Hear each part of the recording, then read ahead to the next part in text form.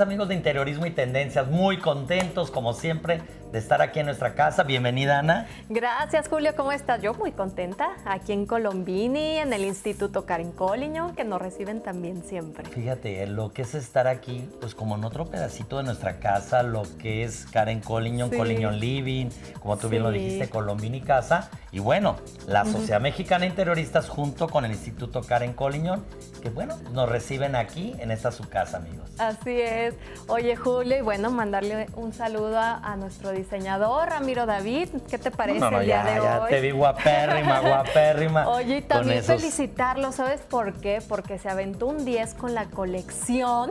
¿Qué eh, la, sí, la pasarela. ¿Qué tal estuvo? La verdad, un fuerte abrazo, felicidades Ramiro David, te quedó increíble, Freya, ¿te gustó? Me encantó, me encantó y, a ver si un día vamos y que nos traiga las modelos. Pues que a mí que me deja una que me gustó. no, y también, ¿sabes qué? Que yo un día quiero portar uno de esos pecheros, así es que apártamelo, ¿eh, amigo? Porque ese de flores, Julio, no sé si un te día, acuerdas. Un día lo vas a tener que traer. Lo traeré yo. Pues bueno, oye, feliz en este set que siempre les escogemos para ustedes. Eh, maravilloso este sillón, Julio, de madera, nuestra celosiaca atrás, ¿te gusta? Bueno, me encanta todo el concepto que se manejó. Vi cuando se estaba instalando toda esta, pues este set. Pero, ¿qué te parece si hoy vamos a hablar, ahorita que estamos con estos sillones individuales, el hablar de sillones en L, lo que son salas en L, pero también lo que es los sillones modulares. Sí, porque sabes que es muy práctico ahora que, nos mudamos mucho. A mí me pasa, ¿no? Que a veces compras un, sillón o antes este, que ya no existe, gracias a Dios, como tú decías, el 321 queda eliminado de nuestro vocabulario. Desde hace muchísimo. Desde hace muchísimo. Desde hace mucho, y que me acuerdo siempre de ti con eso. Eh, los modulares, ¿por qué? Porque puedes jugar ¿no? Con tantas piezas, si tienes un espacio más pequeño, más grande, puedes integrar y mover perfectamente. Así es que chequenlo o, ¿por qué no crearse uno de los modulares si no te lo venden sí, así, pero crearlo? Fíjate que eh, uno de los, eh, de, bueno, ahorita lo que seas 3, 2, 1 para nuestro público. Ah, sí. Yo les decía, quien meta 3, 2, 1 a mis alumnas está reprobada, ¿te acuerdas? de entrada. Y eso, por eso hace, hace, muchos años, ni digo sí, No, no digas. Pero por ejemplo, el hecho de poner nuestras salas, el que tengamos de tres plazas, de una plaza y sillones muy mullidos, muy, muy con mucho, ¿cómo te puedo decir? Donde te, sientas, pero casi te acuestas. Es parte de la esencia de una casa como la vivimos hoy. No vas a estar así todo erguido, como ahorita en un set de televisión, sino la verdad casi te acuestas. Y hay unos que tienen un chaise Ay, Entonces, delicioso. hermoso cuando tienes tu sala, pero el chaise y tu cojincito. ¿Tomas tu siesta ahí? Puedes hacerlo. Pues es que la sala ahora es para usarse, no es como antes que era, no toquen la sala. Esa sala es nada más para visitas. A mí me tocó ahora eso, las tías, no, Pero ¿cómo estás ahorita en tu sala de tu departamento? No, para todo la usas, para todo. Y ¿saben qué? Que también es muy importante eso que decías, este, cada sillón cuando vayan a comprar, ¿para qué uso? ¿Para qué uso va a ser? Porque también el relleno es importante, ¿no? Eh, si es alta densidad, media. ¿Toca esto? Sí, Vean esto, amigos. es la densidad. Hay unos sillones que te sientas y te, voy a decir algo que, que, voy a hacer un poco de crítica a muchos sets de televisión. Sí. Fíjense bien, amigos televidentes, en muchos de los programas, no en el de nosotros porque somos diseñadores y arquitectos interioristas, jamás nos van a ver a, a mí poniéndonos un, un cojín en la parte de abajo. Y vean a muchos de nuestros amigos que se ponen un cojín. ¿Por qué? Porque los sillones que ponen pues son sillones que se les van las piernas para arriba. Claro. Y no debe de ser así. Un sillón debe de ser con menos profundidad en los sets de televisión, que es algo que siempre procuro hacer en todos nuestros programas. Claro, en este caso, pues sí tienes que estar más erguido, derechito, y eso te ayuda muchísimo la alta densidad, así es que asesórense con los profesionales, por favor. Bueno, y el hecho de que pones tu sillón en L sí. y luego metes, por ejemplo, dos sillones individuales con madera, con tela y que bueno, pues hay una infinidad de telas que es impresionante todos los materiales, todos los matices, todas las texturas, todos los colores. Bueno, ahora sí ya no es como antes, ¿no? Tenías o es este, o es este, o es este. Claro. Ahora tienes una variedad que más bien debes de escoger de acuerdo a tu buen gusto o lo que el diseñador te diga que puedes meter. Oye, Julio, ¿y sabes qué también otro tip muy bueno? Que, que traten, no todos los sillones tienen estas protecciones en las patas. Así es. Este, ay, siempre acabas rayando el piso al moverlos, al recorrerlos. Si no lo tienen, es muy fácil. Vas a estas tiendas tan este, de ferreterías grandes y te venden las Unos plásticos gomitas. y unas gomas, que es muy importante. Mucho ojo, porque generalmente las patas siempre están rayando nuestros pisos. Sí, uno de los eh, elementos importantes es cuando llega a veces la señora que te hace el aseo y jala Exacto. el sillón, si tiene el acero, la, como el- la bolita de Sí. acero, te puede rayar el piso. Sí. Si es de mármol y si es de madera, No, peor. peor, Son ya cosas que a veces no nos fijamos y es muy importante que nosotros la notemos. Pero el hecho de las lámparas o de la mesa, que ahora las mesas también, puedes meter una mesa más grande, puedes meter mesas en diferentes niveles, orgánicas. O sea, ya hay una infinidad de elementos para tu sala. Antes era la sala, como decíamos, 3, 2, 1 Sí. y todo tenía que ser el mismo color. Eh, sí, no. ahora puedes es- meter hasta una claro. Banca de madera, de parota, por ejemplo. Claro, incorporar otros elementos en, en tu sala. Fíjate que ahora que estamos haciendo Sí. diferentes ideas, quiero volver a, a- Vamos a retomar todavía lo del Congreso, porque Sí. estuvimos grabando muchas de las entrevistas de gente creativa, donde vamos a ir entrevistando a todos los personajes que Sí. tuvieron una intervención con conferencias. Claro. Pero ahora una de las gentes que me gustaría hablar es de Hernán Arriaga, Sí. que tú lo entrevistaste. ¿Qué tal? Y que muchas de mis alumnas y gente que fue al Congreso, fíjate que me están mandando enlaces porque tiene, no sé si recuerdas un video que presentó. Perfecto. Un video o sea, Julio, precioso Y lo donde- tengo en la nota. Nos Ah. dejó boquiabiertos a todos. Pero ese hay que ver si conseguimos ese video lo porque conseguimos, la gente claro. lo tiene que ver y la idea de que ese video es cómo, cómo hacer ese, pues cómo hace, ¿no? De que es la magia que él Sí. realiza donde dice el da vida a diseño un lugar. es magia. Sí. Y analizando y viéndolo, resulta que a muchísimos artistas súper conocidos Están les hizo sus esto. casas o se las está haciendo. Sí, y en tiene este caso fue la modelo, perdón Julio, la top model Inés Rivero. Así, no, pero Nada entre más tantas. nada menos, entre pero tantas. también fíjate que tiene el despacho en Milán, Sí. tiene despacho en Miami, En. Nueva York, y ha salido en revistas como Architectural Digest de nuestro buen amigo aquí, AD. AD de David Solís, que le mando un, un saludo de Vogue, de- de sí, de muchísimas, muchísimas eh, revistas. Entonces, aparte un ser humano impresionante, No, que ahora que lo vean humano. en la entrevista, déjame decirte que algo que me cautivó de él es de Sí. que una vez llegué y le dije en la cena, vete a sentar con nosotros. Estábamos varios de los conferencistas y tu servidor. Y llega y me dice, no, mira, fíjate que yo les prometí a estos chicos que me iba a sentar con ellos. Por cierto, llegó y se sentó con los chicos que les pregunté de dónde son. No, pues somos de Aguascalientes. Y luego se sentó con otros de otras universidades, con diferentes gentes. Y fue lo padre de que todos los conferencistas convivieron.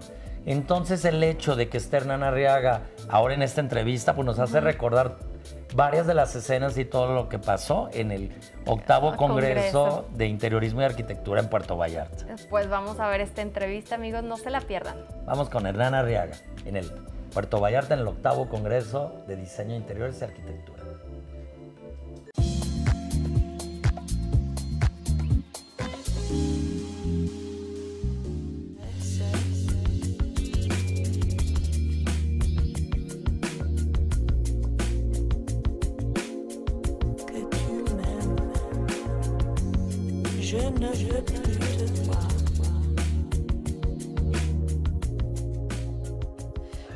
Seguimos aquí en Puerto Vallarta en el octavo Congreso Felices de la Vida y en esta ocasión estoy muy contenta de estar con este gran interiorista Hernán Arriaga. Bienvenido a Interiorismo y Tendencias. Muchísimas gracias. Gracias por tenerme aquí.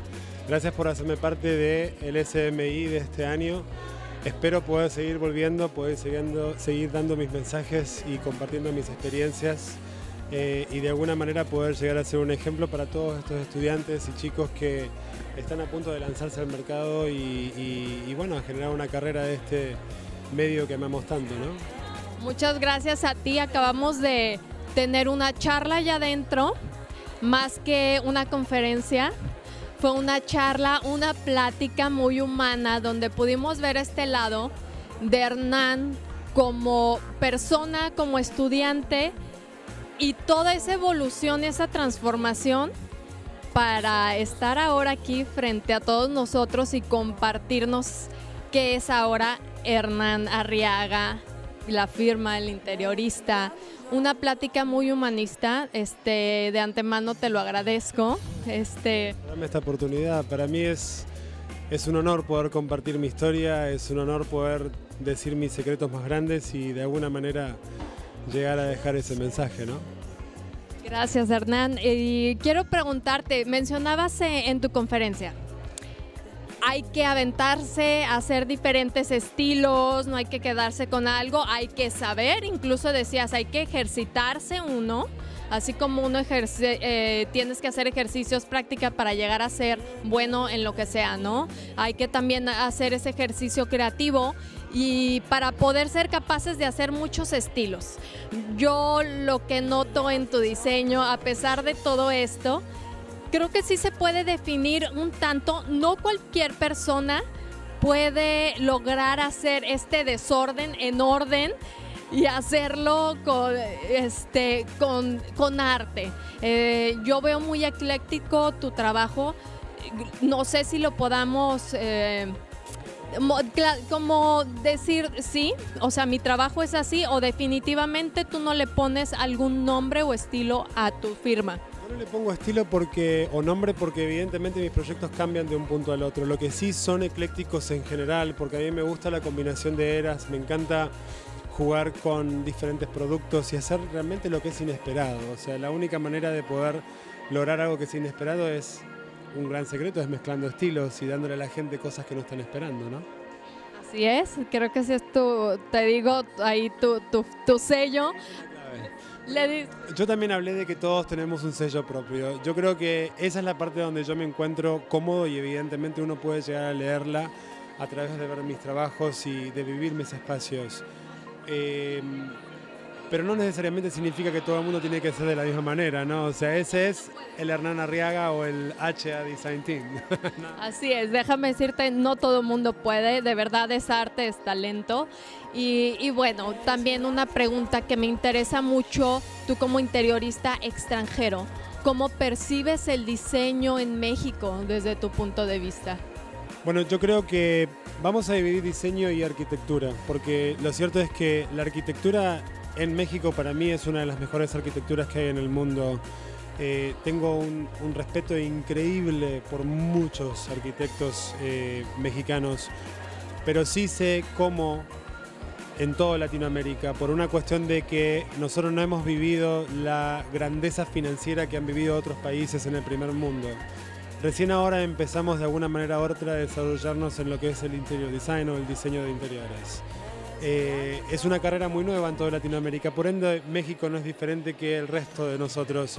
Y a pesar de tener mucho futuro, hoy por hoy todavía está en pañales, es algo que necesita desarrollarse, necesita ser alimentado, necesita el apoyo de, convenciones como la que estamos hoy, eh, porque sin personas como el arquitecto Julio, eh, realmente quedamos dormidos y esto es una forma de despertar a este gigante, de, de demostrar que hay un futuro y que todavía hay esperanzas y expectativas como para poder armar un negocio y, eh, no solamente lucrativo, pero también una carrera del diseño de interiores. Claro, estoy totalmente de acuerdo contigo y, y en cuanto a proyectos en México, ¿tienes, te han ofrecido? Me han ofrecido, me han ofrecido un par, estamos, estamos en charlas. Muy bien, bueno, eso ahí ya me, Es, actually- es en, Punta- en- en Puerto Vallarta, pero es un hotel. No puedo hablar todavía, pero posiblemente se dé. Muy bien, y bueno, aparte de ese secretito por ahí, ¿qué, qué le gustaría? ¿Qué viene para Hernán Arriaga? ¿Qué otros sueños hay por ahí? Para Hernán Arriaga, para Hernán Arriaga viene mucho, viene un programa de televisión para toda Latinoamérica en una cadena que se llama Fox Internacional. Eh, posiblemente otro programa de la misma naturaleza en Estados Unidos para otra, para otra compañía que es E! Entertainment Televisions. Eh, hay mucho que se viene para el futuro de Hernán. Eh, yo soy una persona ambiciosa, así que me encantaría haberlo hecho y espero poder mostrárselo a todos ustedes muy pronto. Me encanta, a mí me encantan esos, esos retos, me gustan esas cosas y bueno, ¿quién dice que ahora sea un celebrity de televisión? Sí, ¿qué tal? ¿Cómo, da, ¿Cómo cambia la vida y te lleva, no? Bueno, Hernán, pues me gustaría terminar diciéndote que dejaste eh, un mensaje muy claro. Nos dejaste esa este, inquietud y sobre todo esa semilla de siempre tener nuestra esencia, que es la esencia, lo, lo marcaste mucho, creo que eh, si no me equivoco y me corriges, eh, tu mensaje principal fue, seas quien seas, donde empieces, donde vayas, que tu esencia siempre vaya contigo y se marque en el camino siendo celebridad o, o no. Este, no sé, no me voy a meter más allá, no sé si esto sea algo aprendido, sea algo enseñado de familia o sea aprendido por cuestiones, lecciones de vida, experiencias de vida. Este, sin embargo, creo que es muy importante el, mensaje que, que has dejado también de incluir esta parte de profesional con la esencia humana, ¿no? Y esto nos dejas, agradezco mucho, se me hace muy interesante, pero quiero que termines diciéndonos qué te dejamos nosotros a ti. Ustedes me dejan un gran mensaje porque a pesar de que yo dije, bueno, y que obviamente estamos hablando de la esencia y lo importante que es, vamos a aclarar eso. La fama, la fama es, es algo momentáneo, es algo que uno puede disfrutar por el momento, pero lo cierto es que realmente no sabemos si va a continuar para siempre o no. Lo que sí viene con nosotros y con nos, nos acompaña por el resto de nuestros días son nuestros valores, nuestros principios y la esencia de persona que somos. Y eso es lo que nos va a acompañar siempre. Por eso es esencial como profesional eh, remarcar que la esencia de uno es lo que debería ir siempre adelante y quedarse impecable, intacta, porque es realmente por lo que nos valoramos en realidad. Ah, el mensaje que le puedo dejar a México es simplemente gracias, gracias por darme una voz, gracias por poder compartir con ustedes mi vida, mi mundo, mi experiencia y mis sabidurías. Y, y bueno, nada, son un pueblo increíble, ojalá pueda llegar a seguir aportando a todos ustedes de esta manera. eh, y que me dejen ser parte de todo este crecimiento que, que- para mí es muy importante, es muy lindo ser parte de- de este país, de México. Gracias Hernán nuevamente, bienvenido a Puerto Vallarta, México, disfrútalo y nosotros seguimos aquí en el octavo Congreso Internacional de Arquitectura e Interiorismo.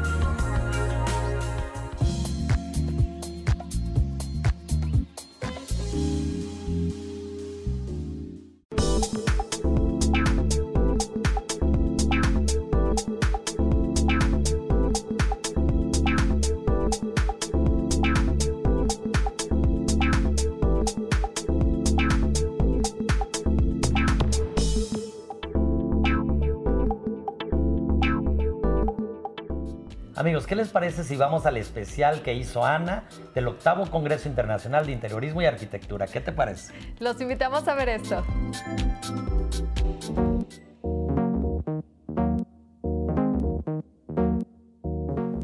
Y así arrancó el octavo Congreso Internacional de Interiorismo y Arquitectura, esta vez en el Hotel Fiesta Americana de Puerto Vallarta.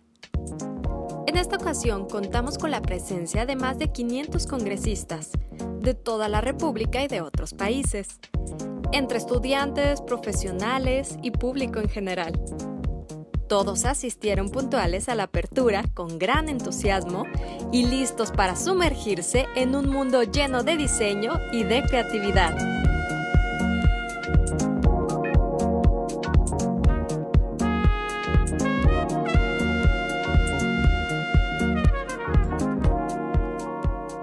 Después de las palabras de apertura, llegaron al escenario Erika Krayer y Ofelia Uribe para iniciar el ciclo de conferencias.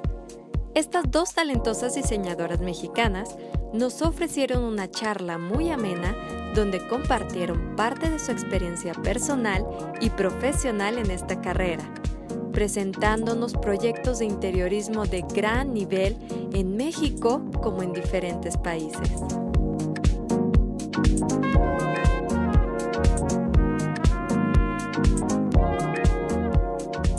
Después llegó el gran diseñador Hernán Arriaga, quien dejó boquiabiertos a todos los asistentes al iniciar su conferencia con un video donde presentaba un poco de su espectacular trabajo al lado de la top model Inés Rivero. Luego de una muy buena conferencia, el diseñador extendió su presentación ya que las preguntas del público no dejaban de llegar y este respondía a todas con mucha calidez.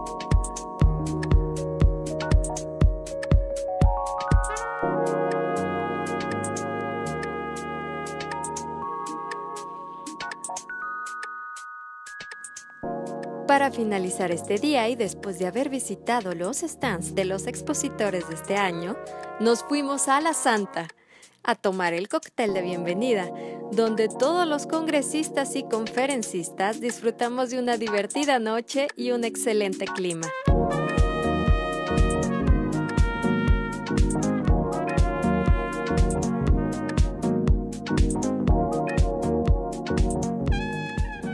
El segundo día de Congreso inició con la presentación del arquitecto del paisaje, Fausto Reyes, quien nos sorprendió con su trabajo y se ganó la admiración y el respeto de muchos de los asistentes.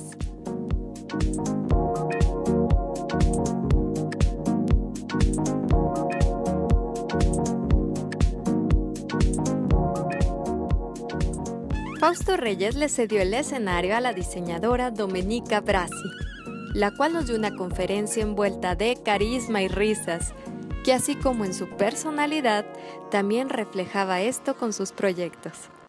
Eso sí, las fotos con sus fans no se hicieron esperar una vez que está bajó del escenario.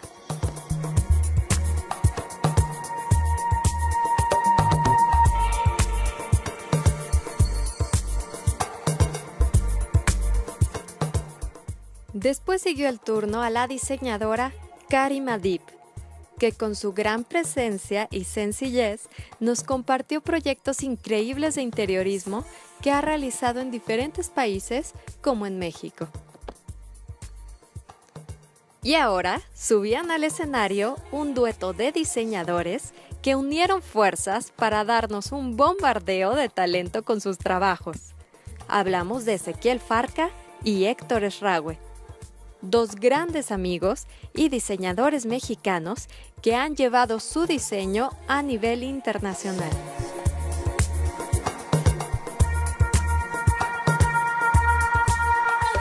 Llegaba el turno a uno de los conferencistas más esperados del Congreso, el diseñador mexicano Sami Hayek, quien rompió la barrera y el hielo con el público en el primer minuto de su conferencia, con su gran simpatía y sencillez dejando un mensaje importante de apoyar y levantar la artesanía mexicana a nivel mundial.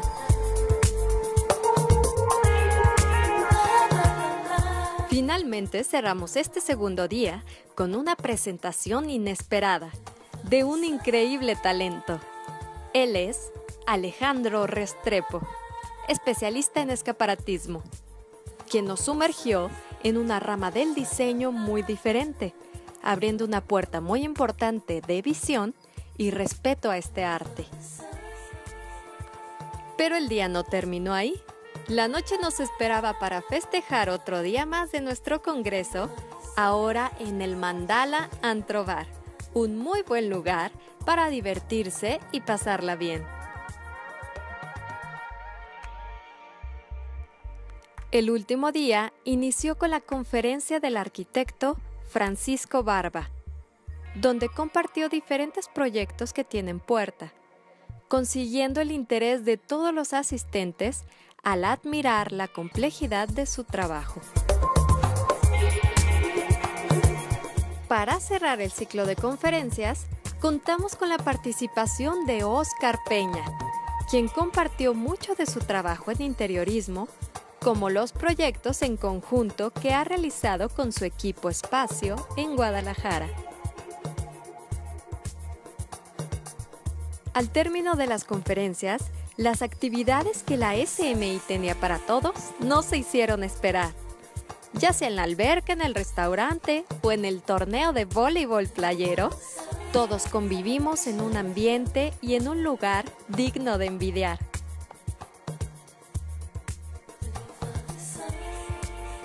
La cena de gala fue muy esperada por todos, pero sobre todo por los participantes del séptimo concurso interuniversitario.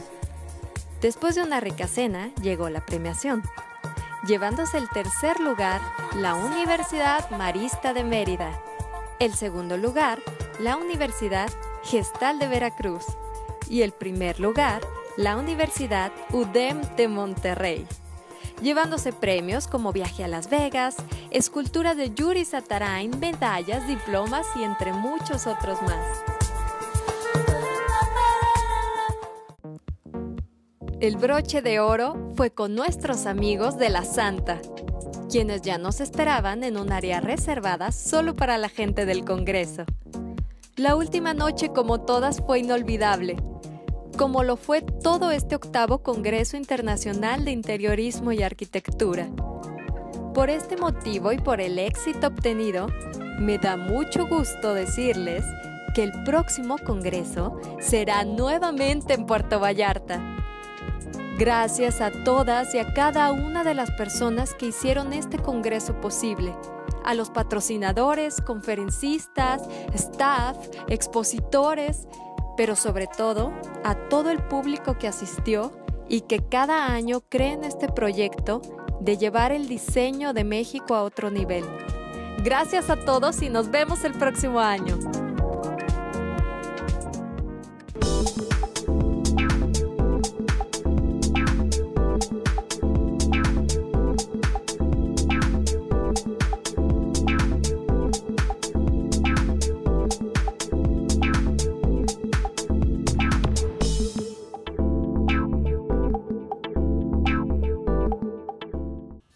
Bueno, espero les haya gustado nuestra nota y todo el programa porque desgraciadamente ya se nos terminó el tiempo el día de hoy, Julio. Pues una, despedirnos y decirles que nos vemos en octubre del 2016 en Puerto, En Vallarta, Puerto Vallarta. en nuestro próximo congreso. Y bueno, decirles que se nos pueden escribir a nuestro Facebook Interiorismo y Tendencias y a los teléfonos 3641 5157 y 3640 1949. Claro, poniéndole el 33 del Hada de Guadalajara. Así es, muchas gracias por vernos y los esperamos en un próximo programa de interiorismo y Tendencias.